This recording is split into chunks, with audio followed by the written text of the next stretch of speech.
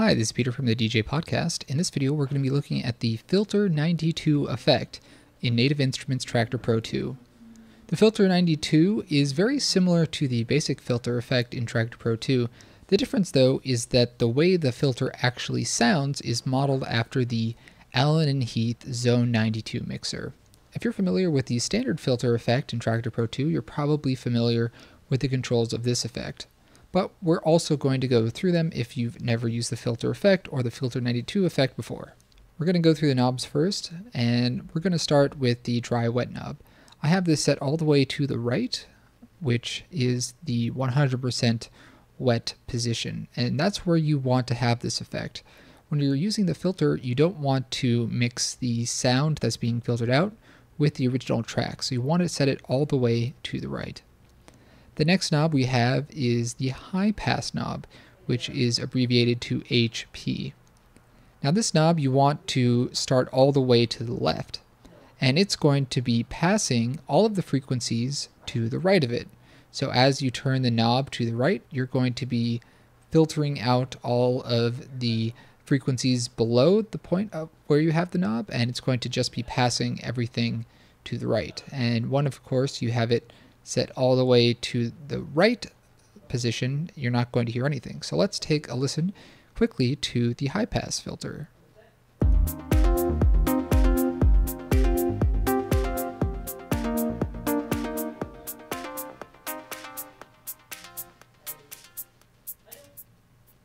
And of course, when you put it all the way to the right, you can't hear anything.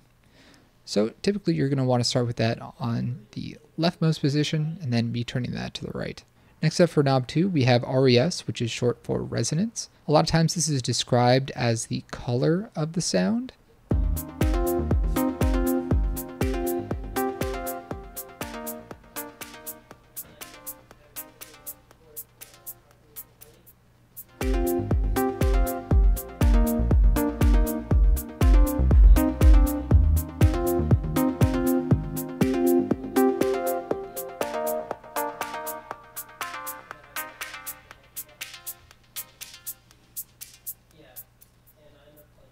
That's the resonance knob. And again, as it's turned more to the right, you're going to hear the filtered effect more. Typically, I like to leave it right in the middle, around 50%. The last knob we have is knob 3, and this is labeled LP for low pass. And this will let everything that's below the knob's position pass in the song. So you want to start this all the way to the right so that the entire track is heard. So now let's take a quick listen to the low pass filter.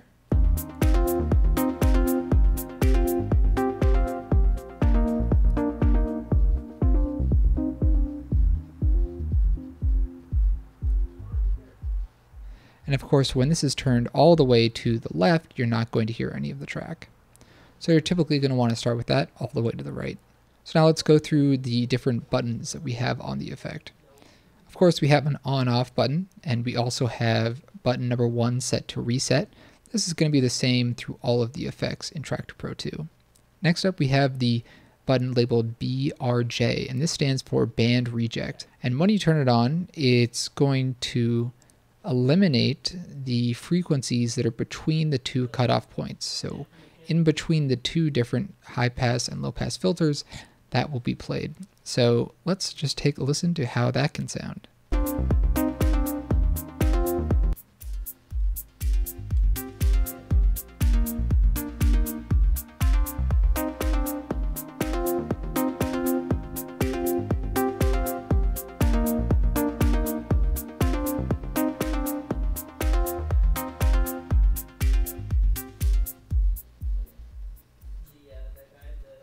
Finally, we have DJM, which stands for DJ mode.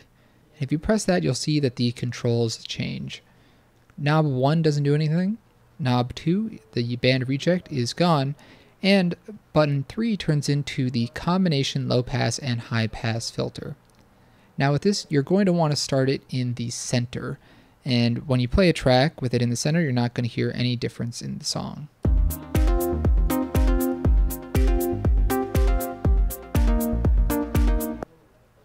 Again, this knob combines a low pass and high pass filter into one knob. Now, when you turn the knob to the left, you're going to be doing a low pass filter, and when you turn it to the right, you're going to be doing a high pass filter.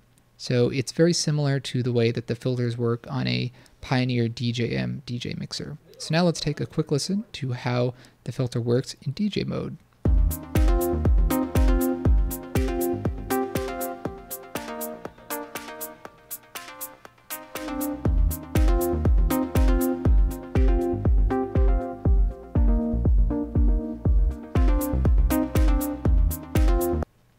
So those are the different controls of the effect, and let's talk quickly about how you might want to use these in your mix. I would suggest that you start with the dry wet at 100% and the effect turned on. Depending on whether you want to use the DJ mode or the regular mode, you're going to want to set your knobs in different positions. So in DJ mode, you're going to want to set knob number 3 to the center to start, and then move it to the left or to the right.